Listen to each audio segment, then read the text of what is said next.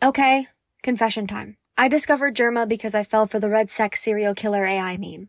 It completely got me. I showed my mom, I showed my boyfriend at the time. I remember convincing myself that I saw Ted Bundy's forehead, which I didn't. I have never been gotten that good by a meme before. So when I learned that not only was it a meme, but it was a meme perpetuated entirely by a streamer's community, without the streamer having any knowledge of it whatsoever. Look, it was a Reddit thing. I don't know. I have no idea. Oh, just somebody linked me a thing where it's like, oh, look, you're like a serial killer. And I'm like, oh, okay. And I laughed for a second. I was like, oh, haha, Jerma the serial killer with the AI technology. And I woke up the next day. It was on the front page of every Reddit, and people thought it was a real thing, and everyone just associates me with a fucking, like, a murderer. I don't think I see that's like 50,000 upvotes on the front page. I was like, all right, I just like, close, I just like closed my phone. I was like, okay, well, I guess we're doing that now. I had to know more. And the more I watched, the more I realized that that streamer, Jerma985, was empirically speaking, the best streamer on the internet. And probably, honestly, the greatest streamer of all time. And this video is me proving that. So, to begin. Hello, everybody. Uh, I'm going to introduce myself right here. My name is Jerma. Jerma started as most successful Twitch streamers do, on a different platform. He made his first YouTube channel in 2011 under the name Jerma985. This was a combination of a play on his name Jeremy and the month and year he was born. This is a deceptively normie and boomer username origin for someone capable of doing things like this.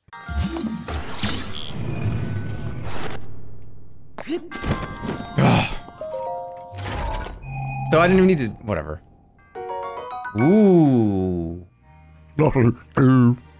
His focus was Team Fortress 2 commentary, and though initially there is an emphasis on actual gameplay technique and strategy, his personality shines through almost immediately. And you saw what I was doing. I was like just smashing into people, just like like like a fucking fridge, like a walking fridge is pretty much what I was.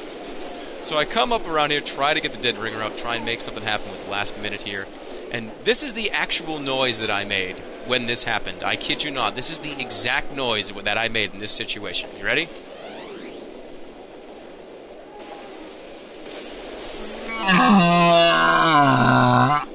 His now iconic love of bits and characters is also basically instantaneously present. This is the third video he ever posted on his channel, with no context prior or since. Hello, everybody. My name is Hill Jogel. I'm, I'm Jeremy's uh, his, his grandfather. And today we're gonna play Insane Aquarium. Okay, so this is how it starts. You, you click to feed these little fish face fucks. And then, you know, they, they, they, they drop the dog shit, and you click it and you get money. The channel gained traction really quickly, and essentially every subscriber milestone is an increasingly surreal skit but then he also balanced out the insanity with the occasional genuine personal life update. At the time, he was a 20 something guy in Boston just figuring his life out. And if you go back and look for it, you can hear him talk about all of the struggles that come with being a young adult and finding yourself and trying not to die. As his channel grew, so did his content. He started collaborating with people. He played games other than TF2. His skits got wackier. The more videos he made, the stronger the Jermagic became slowly but surely gaining a loyal following and giving us gems like this. Rats, we're rats, we're the rats. We pray at night, we stalk at night, we're the rats. I'm the giant rat that makes all of the rules. Let's see what kind of troll we can get ourselves into. Looking back at his YouTube catalog, you can see that Jerma never really tried to jump on any trend, or catch any wave, or tried to clickbait his videos. It seems like he never really got caught up in a numbers game, or felt compelled to play anything that he didn't actually enjoy. This was a white man who did funny voices and had a gaming channel in 2012, and he didn't play Happy Wheels once. He didn't momentarily try to inflate his viewership, and in doing that, he ensured that the community he built was a quality one. From the very beginning, even through spicing skits and character videos throughout TF2 gameplay, he was building a unique backlog of varied content, where Jerma and his sense of humor was the only common denominator linking them. So when people subscribed, they didn't do it because they liked the way he played one specific game or genre. They did it because they liked him. This gave him the freedom to make whatever he wanted to make. I don't know how calculated that was from an artistic standpoint, but honestly, I think it just happened as a natural side effect from him only making things he was passionate about and refusing to back down from that principle. At his most active, he was posting a video every other day. Some days he wanted to play GTA 5, and some days he wanted to do a skit where he electrocuted himself into knowing the lore of Metal Gear. Oh, no, no, no, no, no. Metal Gear Solid story. I must not have hit play. I must have fallen asleep. Fuck. I got time. It's for the launch of Metal Gear. Metal Gear Solid 5, the launch party.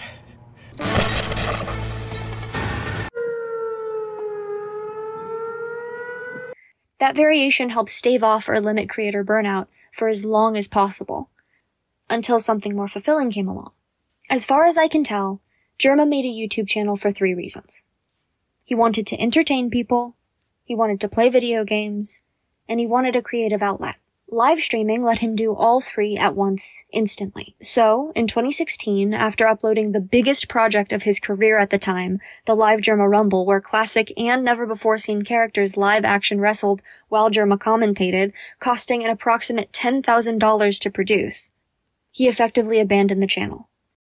Shifting all of his focus to a brand new one called Second Jerma, where he uploaded stream highlights from a Twitch channel. No, don't go on the top rope. Don't do go on the top rope. Please don't go on the top rope. No, I can't take it. I can't do it. Oh, oh, oh shit. No, don't go on the top rope. Don't do it. I don't do it. Please don't go on the top rope. No, I can't take it. I can't take it. Oh, oh, oh shit. Jerma had streamed before, but in 2016 he really began devoting his energy to it, streaming three times a week consistently, barring personal tragedy. If you consider this constancy the beginning of his career, then he was never a small streamer. According to Twitch Tracker, he was pulling in 1,000 concurrent viewers as soon as he began taking it seriously. And with those 1,000 viewers, all from the YouTube community he cultivated specifically to be down for anything, he went for it.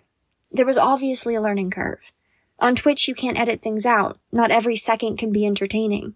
You need a certain level of endurance and stamina to sit and stare at a screen and engage with chat for hours at a time. You're the star of a live show that you're also doing the lighting, production, and stage design for. But after a while, Jerma thrived in those conditions. Much like his YouTube channel, Jerma doesn't really confine himself to any games or catch any metas on Twitch. He plays games that intrigue him regardless of popularity, allowing himself and chat to have a novel experience to interact with and bounce off of. This man had a Twitch channel in 2018, and he played Fortnite for the first time last year. They're not real characters, but they can uh, they can dice you up. Doesn't look like we have too many people here with us.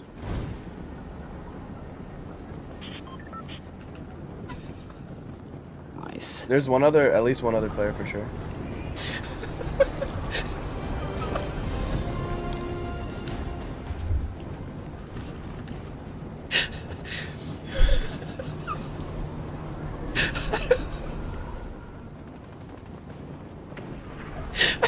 Guys, oh, how do I land?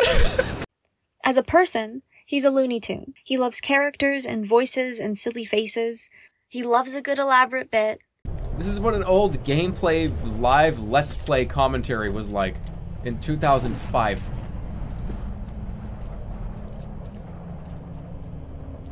Yeah, and, and, and it's in its Bandicam. Ba- Where's that act? I'm, I'm dedicated to this joke. Fucking piece of shit. Fuck. I just don't get every time when they come over.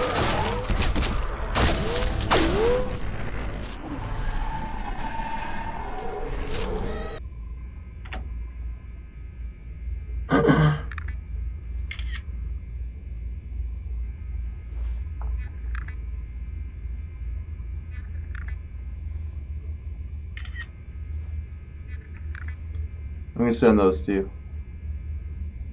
You get the same number, dude?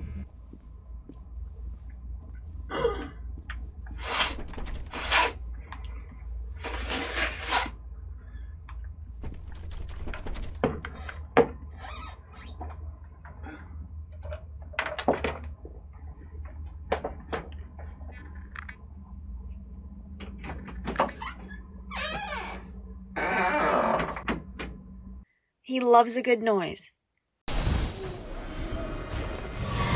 Is that a is that a mask or does he actually have two heads?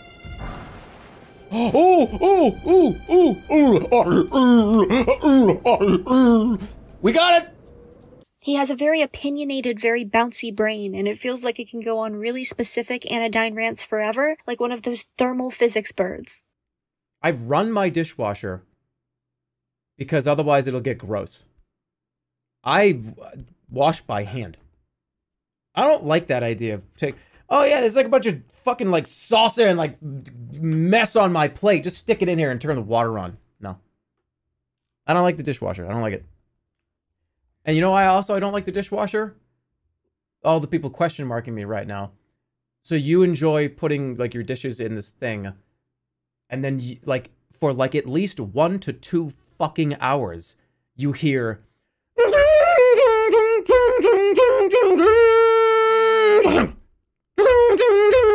It's fucking obnoxious. It's obnoxious. And it lasts for an hour. An hour. Two fucking hours of this. You can I, I I can wash a whole fucking sink of dishes in 20 minutes. Dishwashers are just loud, annoying. They take way too long. A bunch of water. No, no, no, no. Sometimes I'll use it if I need to, you know. But no, never. Sounds like your dishwasher sucks. Your dishwasher's broken. What are you talking about? He also has the tendency to say exactly what he's thinking as he's thinking it, and it looks insane, and it also makes it feel like there's a silly guy and a serious guy battling inside him in an ancient holy war for control of his mind.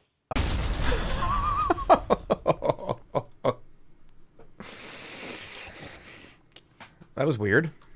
Uh, they don't know shit. The aliens don't know anything. We are. All right, I'm freaking out. I'm losing my mind. But yeah, I, you get what I'm saying. No, you could not. Are you telling me that I don't fill out a medium shirt? Well, what is this? Th- no, I like this. Don't rip it. On paper, I guess the best way to describe his sense of humor is a hyper surrealist kind of absurdist improv. But it's not that heady when you watch him. He's just a guy who's willing to commit and expand on bits that make him laugh, and the bits that make him laugh are usually deranged. He really enjoys streaming. I know that sounds simple, but really, he has so much fun doing bits and going on tangents and telling jokes and playing games, and that enthusiasm is infectious as a viewer. He's having a blast. And you kinda do too. They could be. Uh, you look like John from Garfield. You know what? Fuck off. Okay, I'm getting this off. I'm not John from Garfield, for God's sakes. Get it off. Get it off me.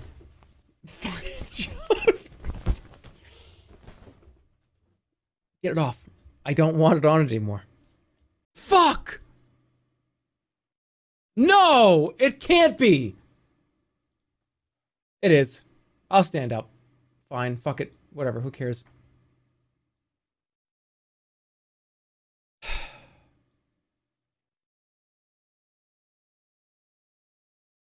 I'm gonna explain this like you're an alien who doesn't know what Twitch is for a second, okay?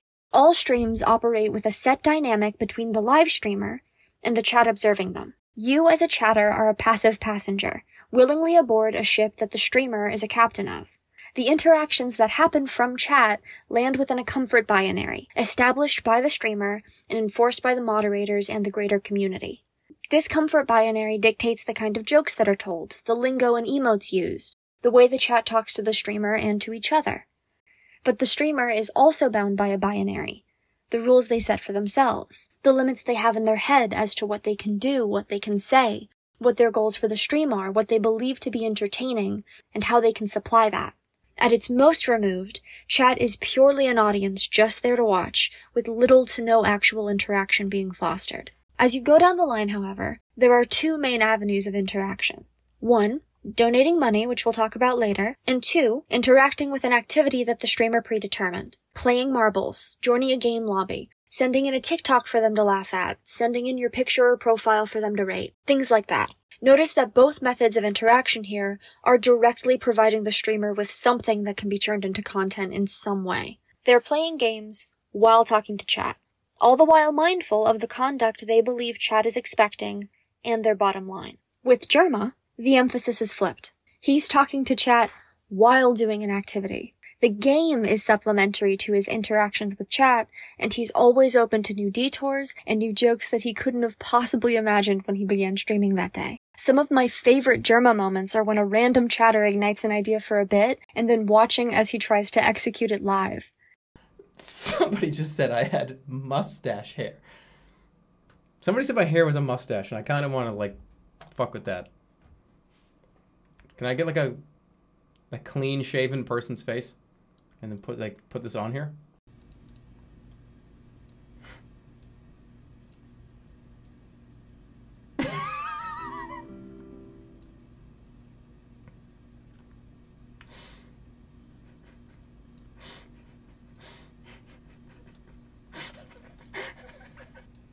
That's better. I can't believe my hair is actually a mustache. That's so embarrassing. What if I put like different eyes? I mean, we've already done this. I did this, uh, but not this exact thing though. Hold on. Strap in. This is gonna get real fucking weird. Hey kids! I'll get the nose. Hold on. I'm gonna get every piece of my face. We're going to rebuild my face. Inch by fucking inch. You think I'm kidding? We're doing the whole thing. This looks so fucking odd. This is way harder than it looks. I've been holding a photo for 10 straight minutes. Take the fucking photo, please, God. Did it. Done. Hey. it's like somebody broke glass. That's all this looks like. Put the mustache on. Oh god damn it. Fine, hold on.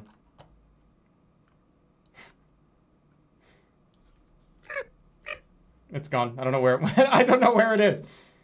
I don't know where it went. Where did it just go? Do Scatman? Oh, I don't even know the lyrics to that. Oh my. Ah! Oh my fucking god. Okay, I'll see you in a minute. I mean, let me try. I'm a scat man.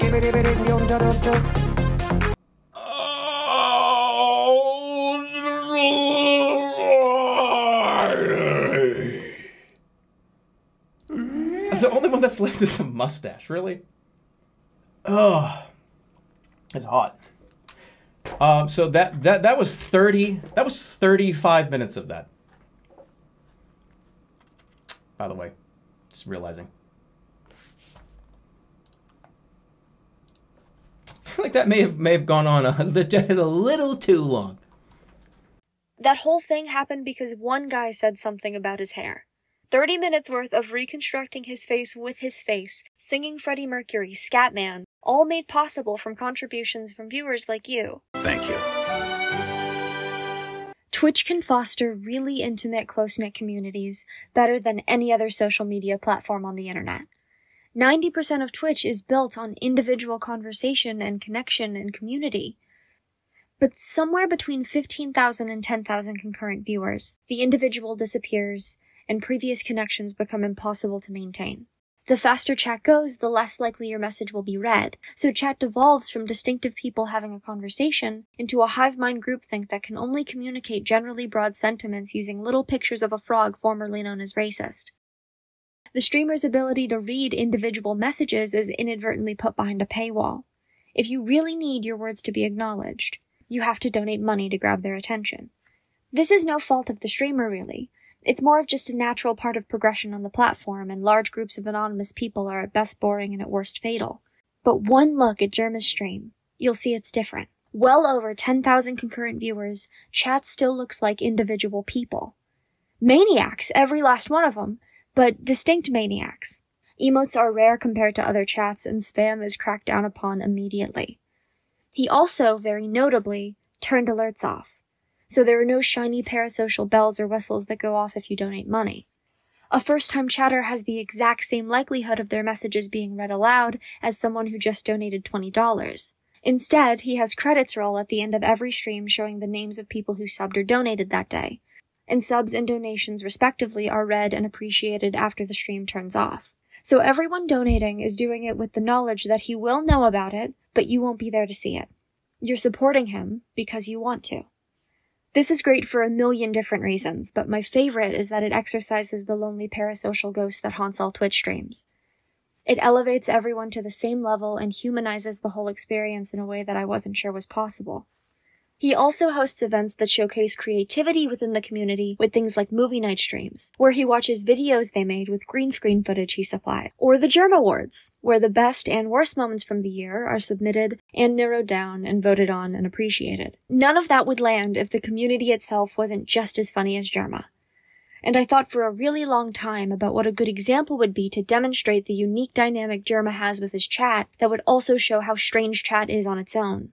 Remember, I only started this Germany because I got got by a meme they made for fun. And if I'm gonna be a respected video essayist, I need something better than that. Something bulletproof to back up my claim here. Someone who's a good chat ambassador that embodies everything that makes Jerma's community so special. Just one moment that showcases what I'm talking about here. Just, just one person. Just one guy.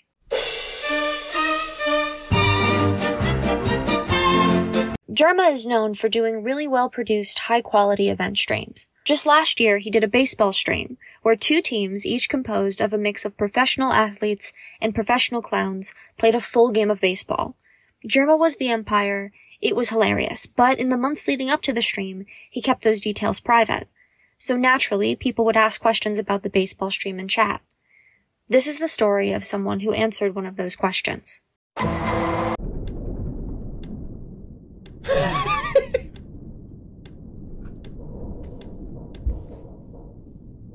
That's definitely gonna get removed. That's gonna get removed from a moderator.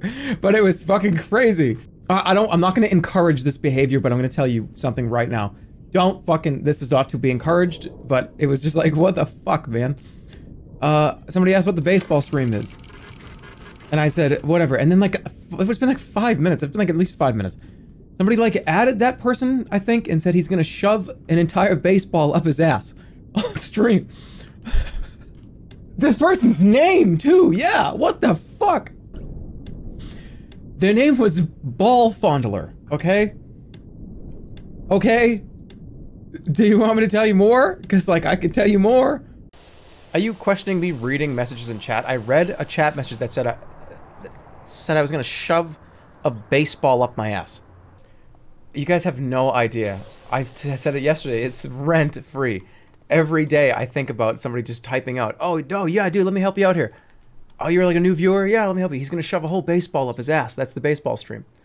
There's so much, there's so many layers to why that's funny. So many. I keep hyping it up, man. Oh, the baseball stream, man, be ready. It's going to be me putting a baseball in my ass? And I'm hyping it up for months and months and months and months in a, like, in a baseball field? Or even not. Am I just here? That's what makes me laugh so much. Is I'm the baseball stream. Oh, he's gonna play baseball. No, it's me in this chair, putting a baseball in my ass. Dude, baseball stream. What? I wonder what that is. Oh, new viewer. Oh, replying to that person. Just, just being a motherfucker. Hey guys. Hey, oh yeah, welcome to the baseball stream. It's time. Get hype! It's the baseball stream! I've been talking about this for a long time! You know the stream where I shove a baseball up my ass! And that person's banned from the channel, right? Mods, like, please refresh my memory. That person has been permanently banned from this from Jerma985, right? They are permanently banned. They they're never they're not, they're not allowed here ever again. Oh wait, they weren't? Oh, this is the, the, hold on. The rabbit hole just got deeper. This is fucking unbelievable. Hold on. Uh, okay. this is the this is the.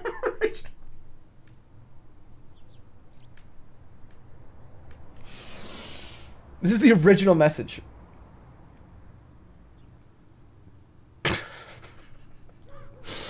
But it gets like uh this this just kept going. I didn't know this kept going. I can't show the rest of these, but he's, he goes on. He goes on. Oh my God. He goes. He goes on to say, "How many baseballs do you think you'll be able to do?" At Jerma nine eight five. What the fuck? How many do you think? It's hard to fit so many up there, don't you think? His, it's pretty gruesome. Okay, you know what? Mm-mm. I bet he's gonna do vocal warm-ups. OMEGALUL. Plucking his ass hairs for the baseball stream.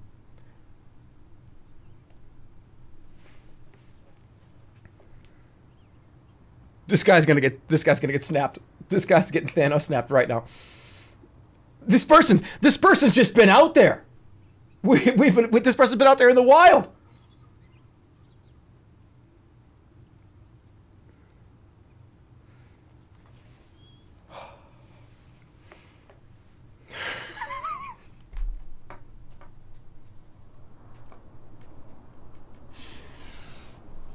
But anyways, he's been banned. It only gives you a whopping 83% off the regular price, but also three months of Uh-oh. service Oh, totally hey. for free. That's Surfshark. Uh oh. Uh oh. Uh-oh. Is this? uh, oh. we we got a streaker. We've got a Oh, streaker, yeah. ladies and gentlemen. He came up through the quad, through the gymnasium, outside the field. You might have seen it on Twitter. You might have seen it uh, posted somewhere, and you may can I confirm that that's true. Ball Fondler has officially been unbanned. They are officially not banned from the channel. They can post uh, freely. Probably just going to get banned again. I'm just going to let's just read what, Ball Fondler said. Uh, let's see if it's, it's uh, worthy of a ban here. Ball Fondler, it's been a week and a half. Play Skyrim. Ego Andy. Holy shit. Nice wiener, bro. He's fully naked, by the way. He's naked. Camera or naked. Stand up. Skyrim. Play Skyrim. I will never back down. Hmm. Well, I got to tell you, that last statement there, that shows perseverance. That shows. That shows that you that you you you can you can you're taking life by the reins. You know what I mean? So you're okay for now. A good detective Um, covers every base. in any other situation Did in Coney jump back two in? other people Who's watching, Paul? Yeah. would have been okay. What? I, th- I agree. Ball that's- Yeah. Get this guy out of Summer, here. Is this one of your Get this guy out of here. Get this guy out of here. Best way to, uh, How do we get? How do we get? How do we get? How do we get this guy out of here? How did he get the code? I don't know. He's gone now. It's He been leaked at- at Yo, he joined times. so we could see his name and then he left. Ball Fondler didn't donate money to have his message read. He didn't spam. He was just a person in chat. He was just a man with a vision and a dream and an affinity for balls. And the community and Jerma built this wonderfully strange inside joke around him to the point where he was acknowledged in multiple ways in the actual baseball stream, which we're gonna talk about. But first, I need to be a hater. We really wish that you would just stop hating on goths everywhere. That's not cool. What if people started hating on you? Yeah, Manson 420. What if everyone started hating on you? Or G 68? What if. What kind of name is that anyway? Yeah. G Nicked. Whatever. Streamers are at the dawn of a new kind of entertainment. At the upper levels, they have thousands of people at their fingertips waiting for them to go live and watch them do whatever they want.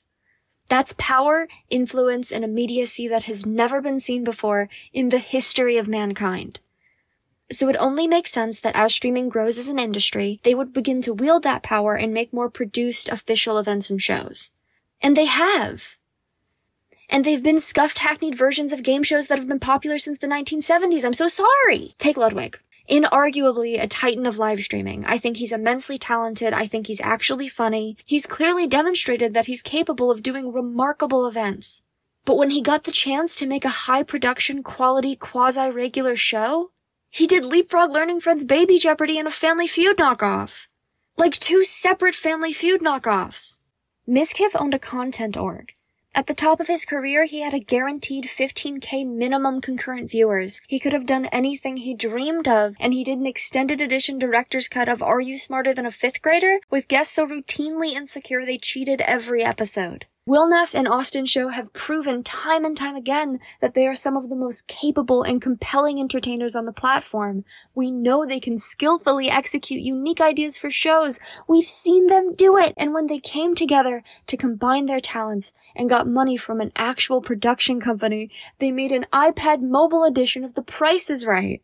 And it's not even just a lack of originality. Loot Goblins by OTK is a high production, somewhat original concept and it has sets and lighting and a theme they bang into the ground and it's still so bad and so awkward and hollow and it feels like an eighth grade class being forced to perform Shakespeare. On a purely technical level, all of the shows I just listed are incredible. It's abundantly clear that a lot of people worked really hard to pull them off.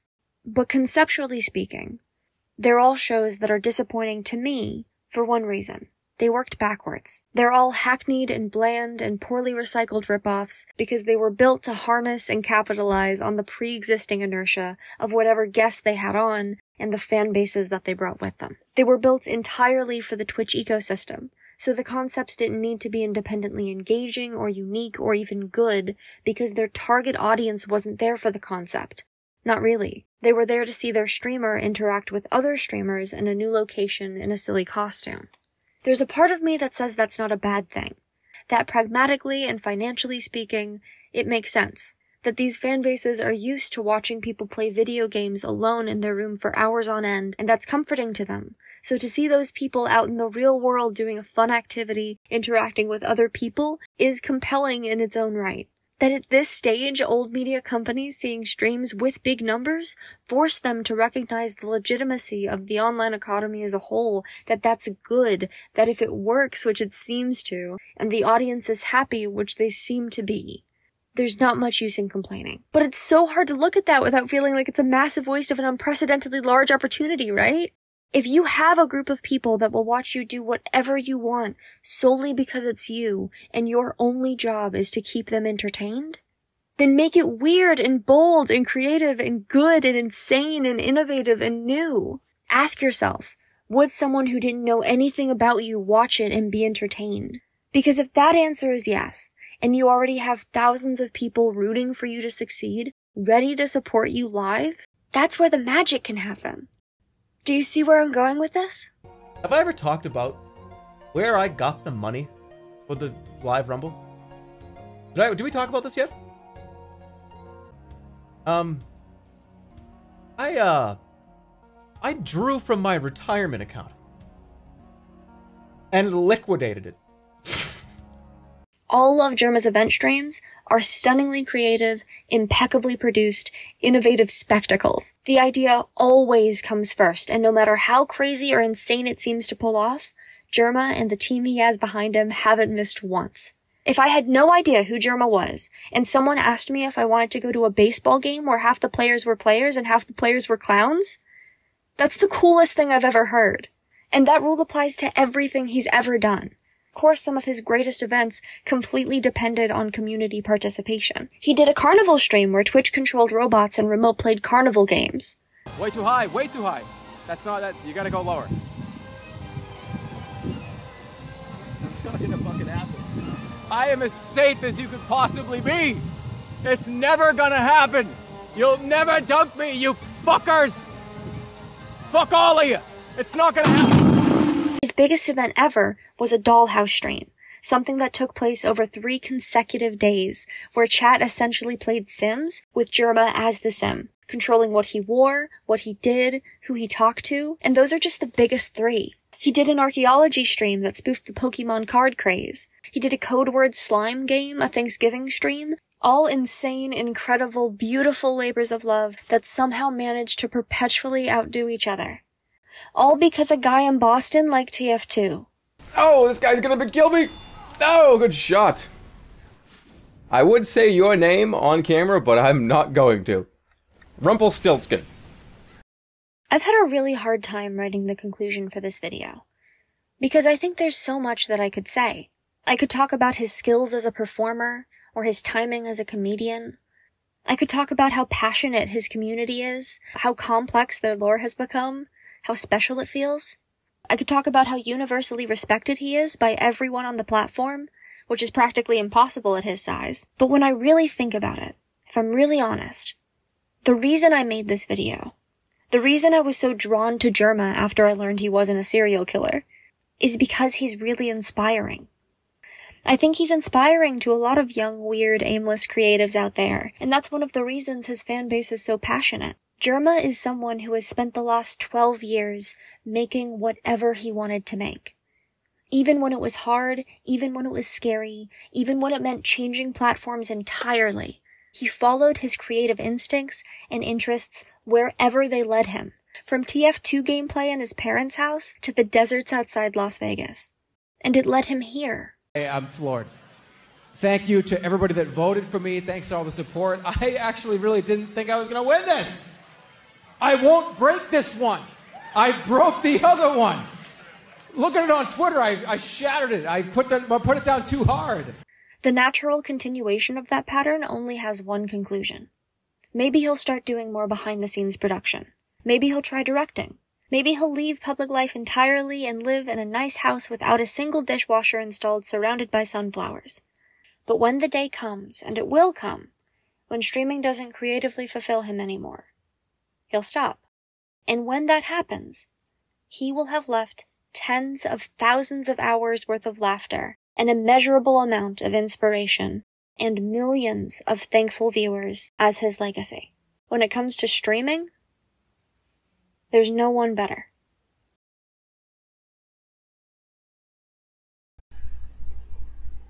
What is going on, guys? Jerma here with a vlog. Quick little update. I just want to let you guys know what's going on with the channel. I want to keep you guys in the loop. So, a lot of you guys have probably noticed by now there are ads on the videos. There are pre-roll ads and stuff like that. And that's because, as of right now, I am a Machinima partner. And it's unbelievable to me, guys. I really can't believe it. And I got nobody to thank but all the people that support the channel. You guys did this. I mean, yeah, I make the content, but you guys watch. And you guys are always supporting. And you guys are always so helpful. You guys are always so awesome. So thank you all so much, all my subscribers. You guys are fantastic. Unbelievable. And I also got to thank the guys over at Respawn, at the Respawn app. You guys are just as awesome because if it's not for you guys, maybe I wouldn't, wouldn't even be seen. You know, maybe something like that would have happened. But all the guys, all the employees at Machinima, I'm not going to let you down. I can promise you that. I,